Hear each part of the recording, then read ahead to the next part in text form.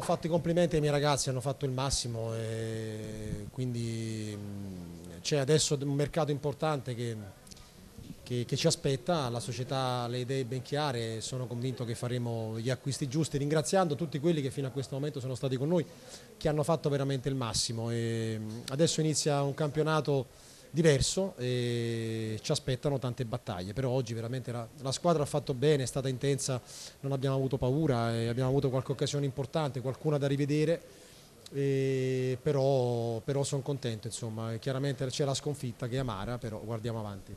Qualcuno da rivedere a quale ti riferisci? Ah, ma, eh, il gol di Corona perché penso insomma, che sia, sia, inciampato su un suo compagno Gore. Eh, il campionato che dovevamo, farci, che dovevamo fare è questo, ce l'aspettavamo, adesso adesso speriamo di tirarci fuori da, da questa situazione.